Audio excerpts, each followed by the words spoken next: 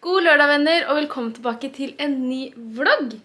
I dag er det som sagt lørdag, og jeg skal på julebord i kveld med en gjeng fra Hadeland, så det blir veldig gøy. Jeg har selvbrunnet meg, ja. Det ble jo kjempefint. Eh, jeg tenkte at, for jeg synes Sofie Elise sin blir litt sånn hard på hendene noen ganger, så jeg tenkte sånn, da tar jeg noen sånne self-tan drops med litt eh, eh krem og smøre på. Ja, det ble jo oransje det, så nå må jeg jo skrubbe for harde livet. Jeg skal ha på meg en grønn kjole i dag, jeg kan vise dere senere. Som man egentlig bare ser liksom ansiktet og hendene på. Så det er jo typisk at det er der det er styggest. Jeg vil egentlig bare ordne litt rundt i huset, jeg driver og vasker klær, jeg driver og støvsuger litt, fordi det har vært så små kaos her i det siste. Eh, og så tenker jeg at jeg snart skal begynne å pynte til jul. Eh, jeg skal ned i boden nå straks og hente Eh, litt julepynt. Jeg vil blant annet henge ut um, Nå står det helt stille for meg. Henge ut sånn uh, greie på gelenderet på verandaen.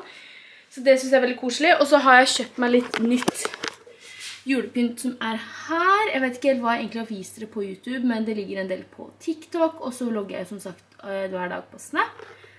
Så her er det litt nytt stæsj, og jeg har egentlig sagt så mange ganger nå at jeg ikke skal kjøpe meg noe julepynt før jeg på en måte har eh, tatt opp det gamle. For jeg vet at jeg har så mye, og det er typisk meg å liksom kjøpe det samme på nytt. Så jeg må ned i eh, boden og hente litt julepynt, og så skal jeg etter hvert sakte men sikkert pynte her. Jeg tror nok ikke jeg rekker så veldig mye i dag, fordi klokka er allerede snart eh, tolv, eller halv tolv eller noe sånt. Jeg skal til Ingrid ganske tidlig, så jeg tenkte at jeg skulle lage en Get Ready With Me på TikTok. Og så skal vi på julebord i kveld, men det er de som arrangerer, så vi må være der litt tidlig og ordne og vorse litt og liksom være der til resten kommer. Så jeg må egentlig bare snart begynne å fikse meg også. Og i morgen så skal vi til Oslo på jul i Blåfjell. Jeg skal prøve å få tatt det med litt, men det blir nok fra mobilen, fordi jeg gidder ikke å drasse rundt på det kameraet her. Og telefonen funker egentlig helt eh, fint, så eh, da blir det noen klipp derfra med den. Altså, jeg dør av det her. Åh, fy faen, det er så stygt. Men jeg har forresten fiksa neglene mine. Så fornøyd. De er jo sånn um, fransk med sånn glans over. Hva heter det? Sånn der glittergreie. Og det er superviktig når dere tar på selvbrenning på hendene. Altid vaske av fingrene etterpå. Jeg bruker bare en pad eller et håndkle eller et eller annet og bare vaske av. Fordi det kan fort sette seg på negla, og det er ikke så pent. Men jeg er i hvert fall veldig fornøyd med resultatet. Neste gang så skal jeg, det er jo i midten av desember, så da skal jeg ta litt sånn glitter og stæsj. Jeg tror nok ikke det blir røde negler, for jeg er ikke så glad i rødt. Selv om jeg synes det er superkult, men jeg bare føler ikke at jeg liksom kler det så godt. Men da blir det nok i hvert fall noe sånn, tipper noe sånn gullglitter og litt forskjellig. Så får vi se. Men nå skravler jeg på innpust og utpust her. Eh, det er en stund siden jeg har vlogget flere. En stund siden, det er en uke. Men nå kjente jeg at nå var jeg gira på å komme tilbake, så eh, la oss starte. Nå skal vi en tur ned i boden sammen og se eller finne julepynt.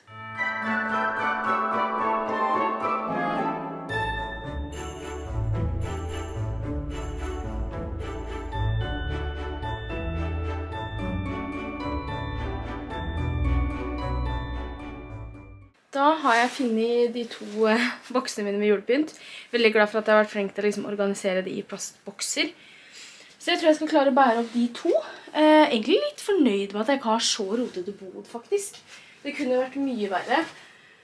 Sikkert mye jeg kunne solgt, så jeg burde sikkert gått inn litt og sett, for det er ikke noe vits at det bare ligger her, hvis det er noen som kan få bruk for det. Men eh, nå skal vi gå opp med pynten. Eh, da klarer jeg overslik å filme. Og så skal vi begynne litt smått. Ah, så gøy! Jeg synes det her er så koselig, og jeg gleder meg skikkelig, skikkelig lenge. Og jeg så tilbake på videoer fra i fjor, og da hadde jeg faktisk pynta bitte litt før, så jeg er absolutt ikke for tidlig ute, synes jeg.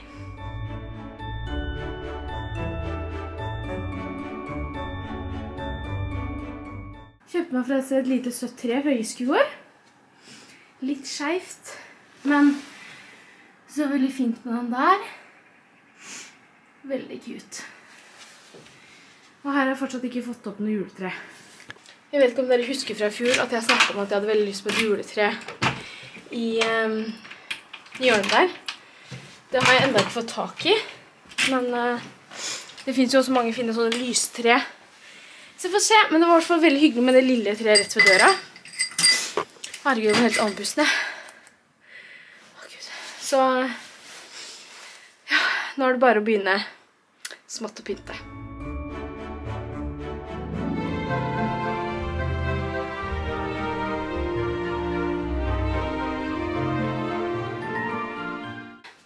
Husker dere at jeg fikk den sjukt søte bamsen her i julekalenderen som jeg hadde sammen med elevene mine i fjor? Altså, den er så søt, og den er så myk. Så fin, så den må jeg finne en liten plass til. Kanskje han må bli med på soverommet og få en hedersplass der.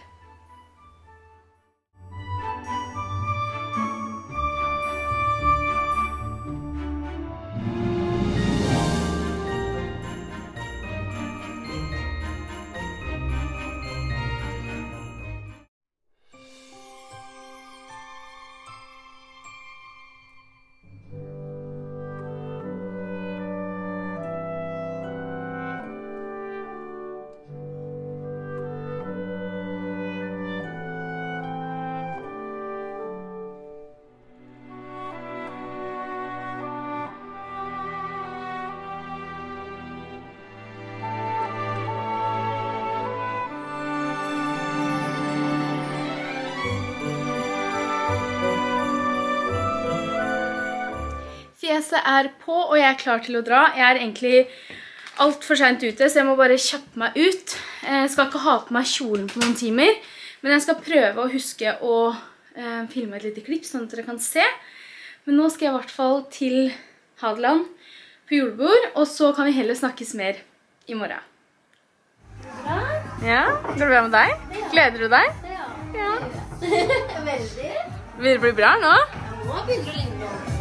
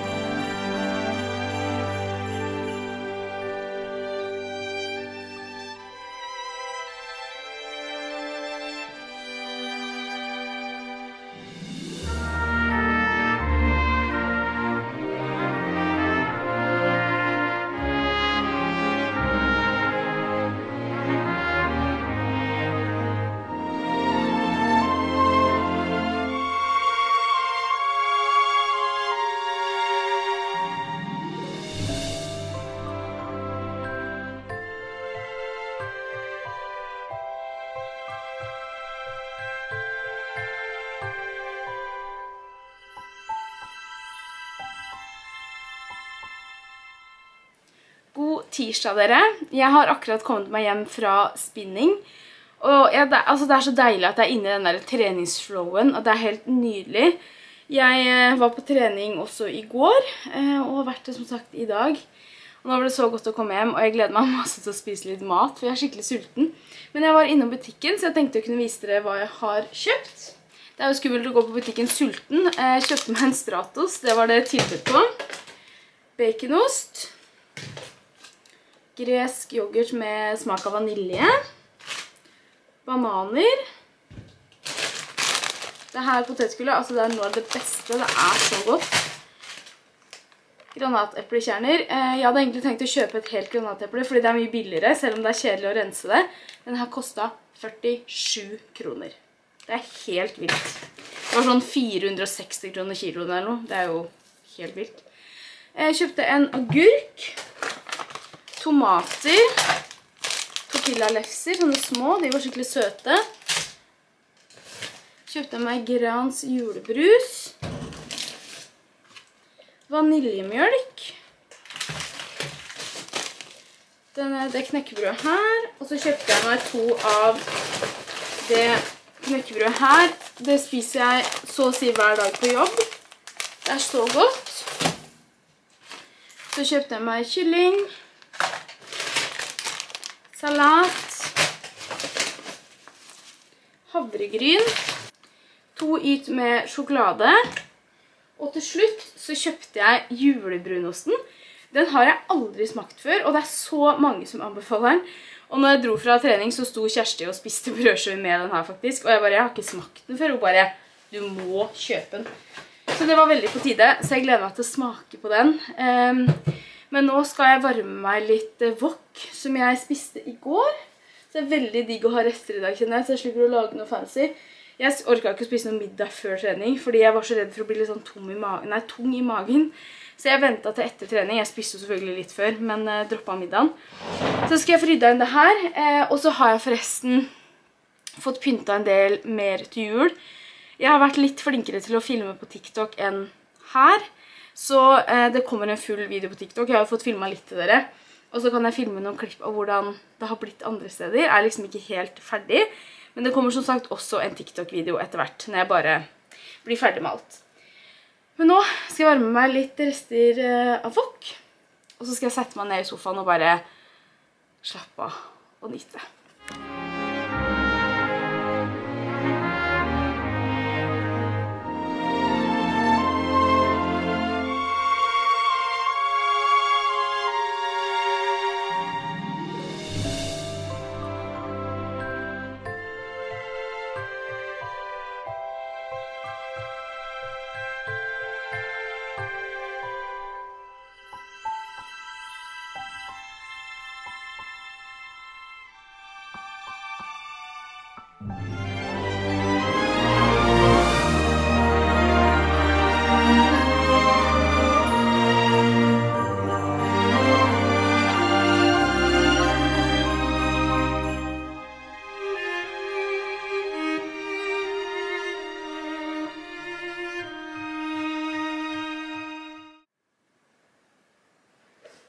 Her ligger jeg. Eh, I dag er det fredag. Og jeg eh, har egentlig følt meg litt sånn ikke, Jeg har ikke følt meg halvdårlig hele uka, det kan jeg ikke si. Men på tirsdag så hadde jeg skikkelig skikkelig vondt i huet. Eh, på onsdag var også en litt krevende dag, men det var også veldig mye som skjedde på jobb, så jeg tenkte på en måte at det er nok derfor jeg er litt ekstra sliten. Eh, torsdagen kom, og jeg sov skikkelig dårlig natt til torsdag. Jeg hadde litt feber, eh, men jeg våkna så hadde jeg ikke feber. Men jeg følte liksom jeg var sånn Altså, jeg var så tung i øya. Jeg var helt sånn rød her, og du så liksom litt på øya mine at de var blanke og litt sånn feberaktige. Eh, men jeg snakka litt med sjefen min og sa jeg gjerne ville prøve. Eh, altså, det er jo mye sykdom rundt omkring nå, og ja, jeg hadde veldig lyst til å prøve å klare å komme meg gjennom undervisning. Men så kom jeg meg til lunsj, og jeg bare kjente at det her funker veldig dårlig. Jeg eh, tok da feberen på jobb, hadde litt feber og tok en koronatest, og da var det en svak strek. Eh, så jeg måtte rett og slett bare reise hjem. Så jeg sov noen timer, og i dag er faktisk eh, formen litt bedre allerede. Har ikke noe sånn særlig feber og føler meg litt bedre, så jeg håper bare at det går oppover herfra. Altså, Jeg har egentlig ikke snakka om noe annet enn sykdom denne høsten her. Det er helt vilt. Altså, jeg kan ikke huske at jeg har vært så mye dårlig. Og i år så har jeg jo virkelig på en måte tatt tak i livsstilen min med tanke på at jeg trener to til tre ganger i uka. Spiser relativt greit, men jeg lurer på om jeg på en måte kanskje har noen mangler. Eh, at jeg burde dra til legen og sjekke. Eh, og barna, altså unga på jobb, har heller ikke vært noe spesielt syke, så jeg skjønner liksom ikke grunnen til at jeg eh, blir så mye. Eh, og hun jeg samarbeider med, blir, har heller ikke vært noe syk, så ja. Så jeg håper virkelig at det her er siste runde nå, for nå kjenner jeg at jeg er så drittlei. Og det var litt av grunnen til at jeg bare skulle på jobb i går, for jeg bare orka ikke å være hjemme og være mer syk.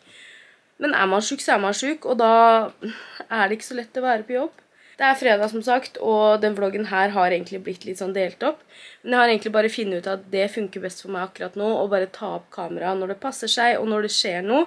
Og så får det heller bare gå litt tid mellom hver eh, mellom hvert klipp, og at det tar litt lengre tid å få lagt ut video. Men nå skal jeg rett og slett prøve å få redigert den eh, videoen her. Og så får vi se hvordan det går. Jeg skal i hvert fall prøve, sånn at den kommer ut til dere i dag, som forhåpentligvis er søndag. Jeg tenker at jeg rett og slett avslutter denne vloggen her. Nå er det ikke lenge til vi begynner på vloggmess.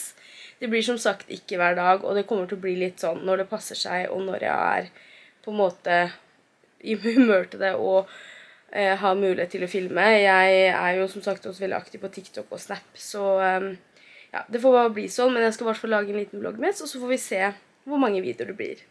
Men tusen hjertelig takk for at dere har sett på, og så ses vi i neste video. Love you!